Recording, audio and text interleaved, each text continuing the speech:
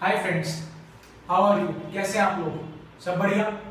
चलिए, आज हम लोग का जो टॉपिक रहेगा, बहुत ही सिंपल है। बिल्कुल इजीएस्ट ऑफ़ टॉपिक्स आज।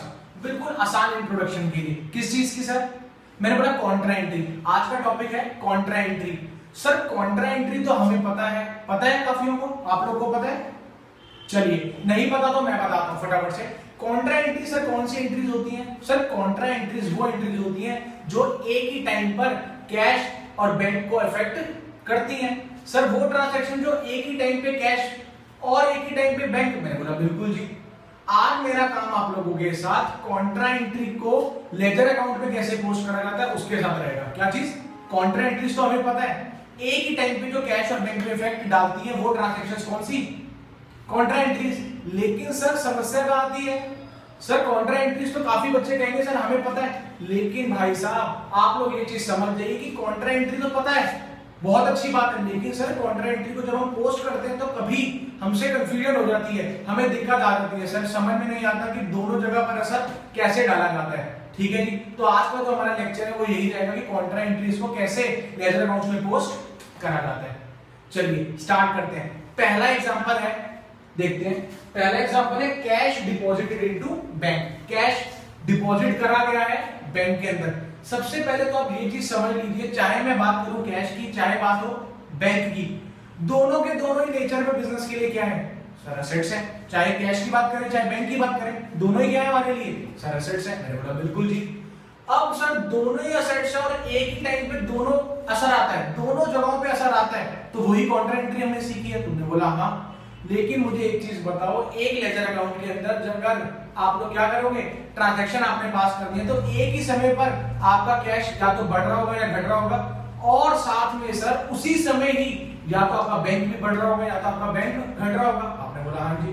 मैंने बोला, बिल्कुल जी, यही है। अब हमें करना क्या है? हम लोगों ने पहले केस में क्या लिखा है? कैश डिपॉजिटेड इनटू बैंक इसका मतलब कैश उठा के कहाँ डाल दिया? बैंक में डाल दिया। तुम कहोगे, सर, एक असेट बढ़ गया बैंक के नाम से और दूसरा हमारे बिज़नेस में से कैश क्या हो गया? कम, तुमने बोला हाँ। इसका मतलब सर, जो असेट बढ़ता है वो डेबिट कौन सा असेट बढ़ रहा है? तुम कहोगे, सर बिज़नेस का बैंक बढ़ रहा है। तो बैंक को तो तुम कर दोगे डेबिट तुमने बोला हाँ जी। और, सर बिज़नेस का कैश क्या हो रहा है? कम कैश को कर दोगे क्रेडिट सर जर्नल एंट्री तो पास हो गई, मैंने बोला, कहा है? तुमने बोला, sir bank account debit to cash account क्योंकि, सर, एक ऑर्गेनाइजेशन ने पैसा उठा के अपना कैश उठा के कहाँ डाल दिया? बैंक में तो बैंक तो बढ़ गया, और उसका कैश क्या हो गया? बिजनेसमैन का। कम हो गया। इसलिए, जो असेट बढ़ा वो डेबिट जो घटा वो क्रेडिट इसीलिए जर्नल एंट्री क्या पास होगी bank account debit to cash account sir आपने कहा था आज का टॉपिक क्या रहेगा? इस एंट्री को पोस्ट कैसे करना है? तो वही देखते हैं हम लोग, ठीक है नंबर वन मान लीजिए हमारे बिज़नेस ने दस हज़ार रुपए जमा करा दिए कहाँ पर? कहाँ पर जमा करा दिए? बैंक के अंदर। इसका मतलब सर, एक असेट तो बढ़ रहा है। पता ही कौन सा असेट बढ़ रहा है? आप कहेंगे सर बैंक बढ़ रहा है। खुद मुझे बताएँ, अगर कोई भी असेट बढ़ता है तो कौन सी साइड में? आप कहोगे सर, बड़ा आसान है डेबिट में। मैंने बोला, चलिए देखिए। इसीलिए बैंक अकाउंट डेबिट मैंने बोला, बिल्कुल। बैंक अकाउंट को इसीलिए आपने क्या कर दिया? आपने बैंक अकाउंट को डेबिट कर दिया। बैंक अकाउंट डेबिट बैंक कितने से बड़ा है? हम लोगों ने बैंक में कितना कैश डाला है? तो कहोगे सर, दस हज़ार रुपए। तो दस हज़ार रुपए से बैंक को क्या होना चाहिए? डेबिट आपने बोला हाँ।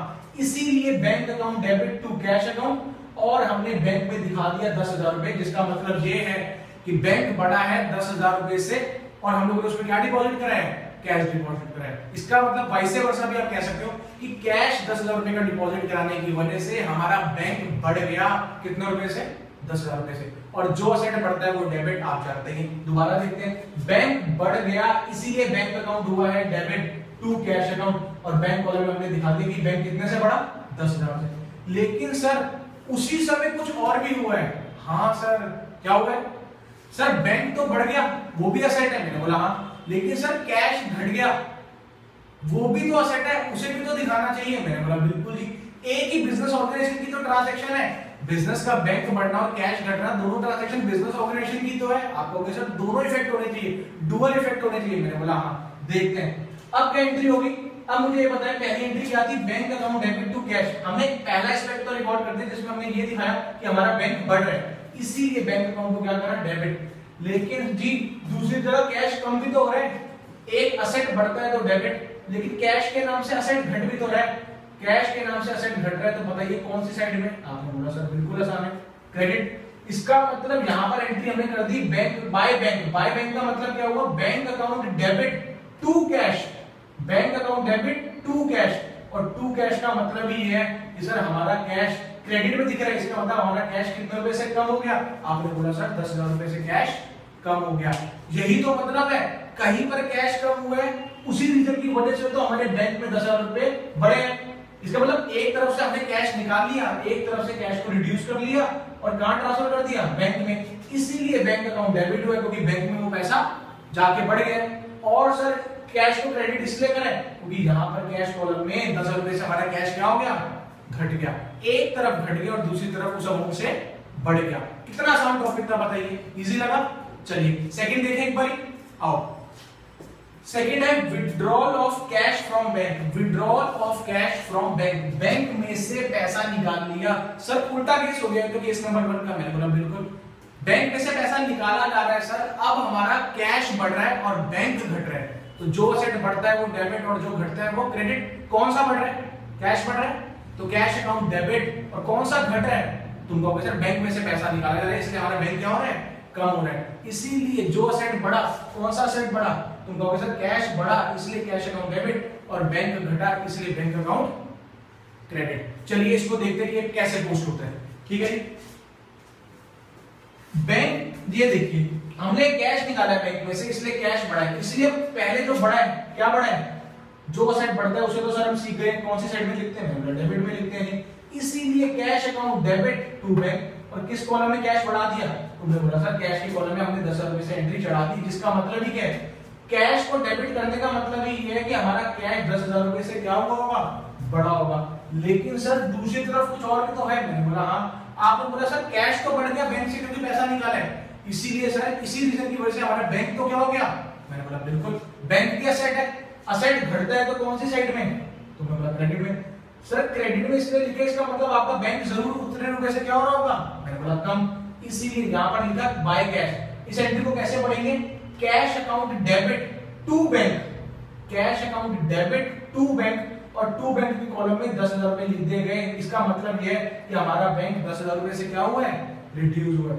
इसका मतलब यहाँ पर जो दस हज़ार रुपए से रिड्यूस हुआ है, तभी तो यहाँ पर हमारा कैश दस हज़ार रुपए से इंक्रीज हुआ है। डुअल इफ़ेक्ट होंगे। कॉन्ट्रा एंट्रीज में बस आपको यही बात रखनी है यार। क्या चीज़? कि सर, चाहे वो कैश की ट्रांजैक्शन चाहे वो बैंक की ट्रांजैक्शन दोनों ही बिज़नेस के नेचर के लिए तो क्या है? असेट्स है। एक असेट अगर बढ़ेगा, दस हज़ार रुपए से अगर मैंने बैंक से दस हज़ार रुपए निकाल दिए तो मेरा कैश तो दस हज़ार रुपए से बढ़ जाएगा सर और लेकिन मेरा बैंक भी दस हज़ार रुपए से घट जाएगा। इसी ट्रांजेक्शन को जब हम लोग लेजर में डालते हैं तो बहुत सारे स्टूडेंट्स के साथ कंफ्यूजन आ जाती है। उम्मीद करता हूँ आप लोगों को अच्छे से समझ में आ गई है। कोई रटने की ज़रूरत नहीं है आप लोगों को, पूरा कंसेप्ट देख रहे हैं। आपको बस यही ध्यान दे रहे हैं कि अगर आपका बैंक बड़ा है बैंक अगर बड़ा है तो असेट बढ़ता है तो डेबिट में, उस बैंक जो बड़ा होगा, वो क्यों बड़ा होगा? क्योंकि आपने बिज़नेस में से क्या निकाल लिया होगा कैश सिंपल सी बात है। बिज़नेस में से कैश निकाल के कहाँ डाला? बैंक में। इसीलिए सर बैंक में डाला तो बैंक बढ़ गया और कैश बिज़नेस में से निकाला, इसलिए कैश कम हो गया। दूसरी तरफ़ क्या था? जब हम लोगों ने क्या करा? कैश बिज़नेस में से निकाला और बैंक को कम कर दिया। तो इस केस में क्या हुआ होगा? हमारा कैश बढ़ गया होगा, इसलिए डेबिट में कैश रिकॉर्ड होगा। मैंने बोला हाँ। जिसके रीजन की वजह से हमारा बैंक दस रुपए से घट गया होगा। इसीलिए बैंक अकाउंट कौन सी साइड में दिख रहा है? क्रेडिट में। आपको बस सिंपल सिंपल से लॉजिक्स क्या याद रखने कि सर एक असेट अगर बढ़ता है तो डेबिट में और अगर असेट घटता है तो क्रेडिट में। और कॉन्ट्रा एंट्रीज वो एंट्रीज होती हैं जो एक ही टाइम पर साइमल्टेनियसली कैश और बैंक पर असर डालती हैं। ठीक है जी? ये आज का टॉपिक था। ऑल दी वेरी बेस्ट ध्यान से पढ़िए। एग्ज़ाम टाइम चल रहा है आप लोगों का। ठीक है जी? और अगर आपको वीडियोस यूजफुल लगती हैं तो अच्छे से और पढ़िए बल्कि राइट चलिए बहुत बहुत धन्यवाद। All the very best bye bye